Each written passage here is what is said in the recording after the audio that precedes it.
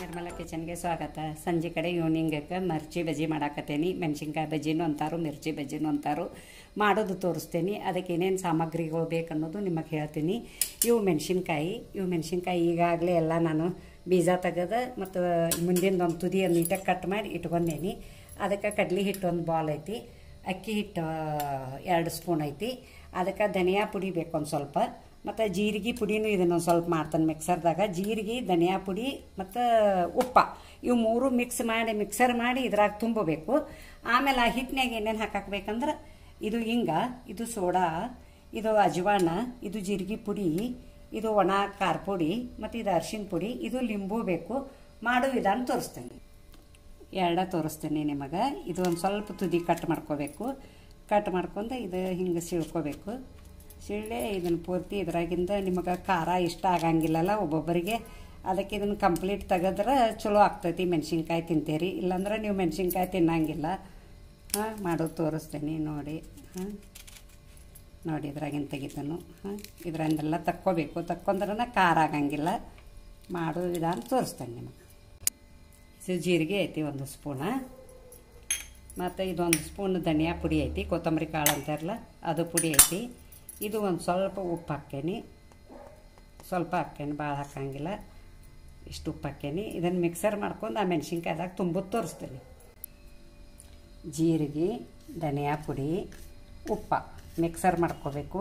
Mixer ಮಾಡ್ಕೊಂಡು ಇದನ್ನು ಮೆಣಸಿನ್ಕಾಯ್ದಾಗ ಒಂದು ಸ್ವಲ್ಪ ಸ್ವಲ್ಪ ತುಂಬಬೇಕು.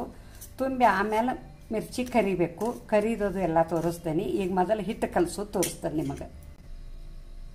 ನೋಡಿ, ಒಂದು ಬಾಲ ಕಡಲೆ ಹಿಟ್ಟು ಹಾಕಾಕತ್ತೀನಿ. ಕಡ್ಲೆ ಹಿಟ್ಟು ಯಾವಾಗೂ ನಮ್ಮ ಮನ್ಯಾಗ ಬೇಯಿಸ್ತೀನಿ. ಕೊಂಡದ್ದು ತೊಗೊಂಡು ಬರೋಂಗಿಲ್ಲ. ಇದು ಎರಡು ಚಮಚೆ ಇದೈತಿ, ಅಕ್ಕಿ ಹಿಟ್ಟೈತಿ ಅದನ್ನು ಹಾಕಾಕತ್ತೀನಿ. ನೋಡಿ, ಇದನ್ನೆಲ್ಲ ಹೆಂಗೆ ಮಿಕ್ಸ್ ಮಾಡ್ಕೋಬೇಕು. ಅಕ್ಕಿ ಹಿಟ್ಟ, ಕಡಲೆ ಹಿಟ್ಟ. ಇದು ಅಜ್ವಾನ್ ಒಂದು ಸ್ಪೂನ್ ಐತಿ. ಅರ್ಧ ಸ್ಪೂನ್ ಹಾಕತ್ತೀನಿ. ಇದು ಜೀರಿಗೆ ಪುಡಿ. ಇದು ಅರ್ಧ ಸ್ಪೂನ್ ಐತಿ, ಹಾಕತ್ತೇನೆ.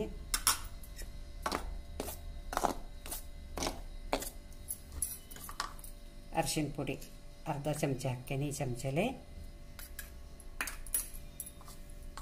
ಇದು ಖಾರ ಪುಡಿ. ಖಾರ ಪುಡಿ ಭಾಳ ಹಾಕಂಗಿಲ್ಲ, ಮೆಣಸಿನ್ಕಾಯಿ ಖಾರ ಇರ್ತಾವಲ್ಲ, ಅದಕ್ಕೆ ಕಲರ್ ಬರೋ ಸಂಬಂಧ ಒಂದು ಚಮಚೆ ಹಾಕತ್ತೀನಿ. ಈ ಚಮಚಲ್ಲಿ ಎರಡು ಚಮಚೆ ಹಾಕತ್ತೀನಿ. ಮತ್ತು ಒಂದು ಸ್ವಲ್ಪ ಹಿಂಗೆ ಹಾಕ್ತೀನಿ.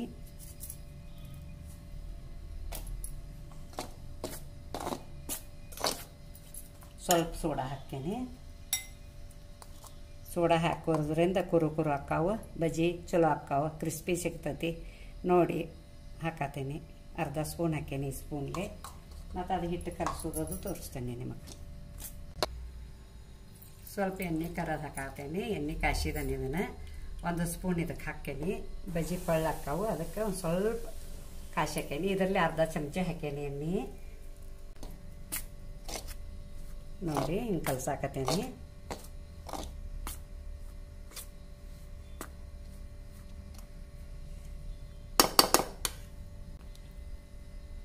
ನೋಡಿ, ಇದು ಒಂದು ಸ್ವಲ್ಪ ಸೋಡಾ ಹಾಕಬೇಕು. ಸೋಡಾ ಹಾಕಿ ಅದಕ್ಕೆ ಲಿಂಬು ಹಿಂಡಬೇಕು. ಲಿಂಬು ಹಿಂಡ್ರೆ ಅದು ಫೇಸ್ ಬರ್ತೈತಿ ಹಿಂಗೆ. ಫೇಸ್ ಬಂದ್ರೆ ಇನ್ನೂ ಪಳ್ಳಕ್ಕಾವು ಬಜ್ಜಿ.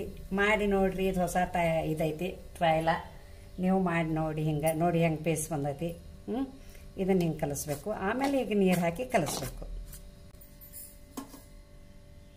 ನೀರು ಹಾಕತ್ತೀನಿ. ಸೊ, ಸ್ವಲ್ಪ ನೀರು ಹಾಕೋಬೇಕು. ಭಾಳ ತಿಳುವಾತಂದ್ರೆ ಇದಕ್ಕೆ ಮೆಣಸಿನ್ಕಾಯಿಗೆ ಹತ್ಕೊಂಗಿಲ್ಲ ಅದು. ನೋಡಿ ಹಾಕಬೇಕು. ಗಂಟು ಹಿಡಿದಂಗೆ ಕಲಿಸ್ಬೇಕು ಸಮಾಧಾನಲೇ. ಈಗ ಒಂದು ಸ್ವಲ್ಪ ಕೈಲೇನ ಕಲಿಸ್ತೀನಿ ನಾನು.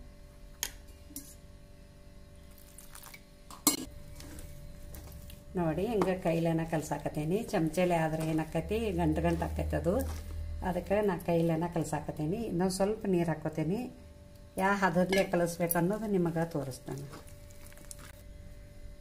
ನೋಡಿ, ಹಿಂಗೆ ಕಲಿಸಿದ್ದೀನಿ ಈ ಹದಕ್ಕೆ ಇರಬೇಕದು.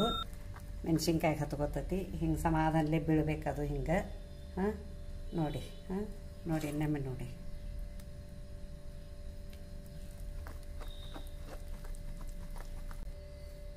ನೋಡಿ, ಇದು ಜೀರಿಗೆ, ಧನಿಯಾ ಮತ್ತು ಉಪ್ಪ. ಸೊ ಸ್ವಲ್ಪ ತುಂಬ್ಕೋಬೇಕು. ಅದೇನೇನು ಹಿಂಗೆ ರಿಕ್ಕ ತುಂಬಬೇಕಂತಿಲ್ಲ. ರುಚಿ ಸಂಬಂಧ ತುಂಬ್ಕೋಬೇಕು ಒಂದು ಸ್ವಲ್ಪ. ಸ್ವಲ್ಪ ನೋಡಿ ಹಿಂಗೆ ತುಂಬಾಕತ್ತೇನೆ ಇಷ್ಟ. ಇನ್ನೊಂದು ತೋರಿಸ್ತೇನೆ ನಿಮ್ಗೆ.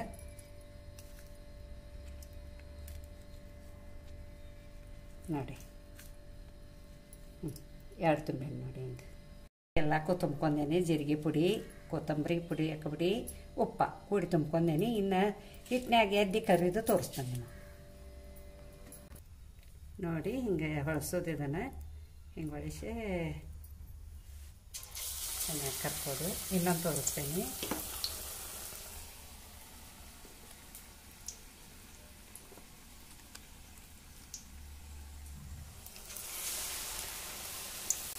ನೋಡಿ ಹಿಂಗೆ ಹೊಳಿಸ್ಬೇಕು ಇವನ್ನ. ಹೊಳಿಸಿದನು ಇದನ್ನು ಹೊಳಸ್ತೀನಿ ಕುರು ಕುರು ಆಗ್ಯಾವ ಭಾಳ ಪಳ ಕಾಣತಾವ ನನಗರ. ತಿಂದಾಗ ಗುರ್ತಾಗೋದು. ತೆಗಿತೇನೆ ನೋಡಿ.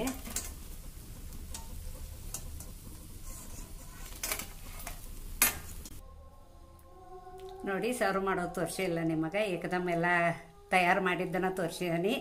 ನೋಡಿ, ಇವು ಮಿರ್ಚಿ ಬಜ್ಜಿ ಹಿಂಗಾಗ್ಯಾವ. ಮೆಣಸಿನ್ಕಾಯಿ ಬಜ್ಜಿ ಅಂತಾರೆ, ಮಿರ್ಚಿ ಬಜ್ಜಿ ಅಂತಾರೆ. ಅದ್ರ ಜೋಡಿ ಚುನ್ಮರಿ ಕಾಂಬಿನೇಷನ್ ಆಕೈತಿ ಹಾಂ ಅದನ್ನು ಚುನ್ಮರಿ ಹಚ್ಕೊಂಡು ತಿನ್ಬೇಕು. ಮತ್ತು ಇದು ಬಾಜುಕ್ಕೆ ಈರುಳ್ಳಿ ಅದಾವೆ, ಈರುಳ್ಳಿ ಹಚ್ಕೊಂಡು ತಿನ್ನಿ.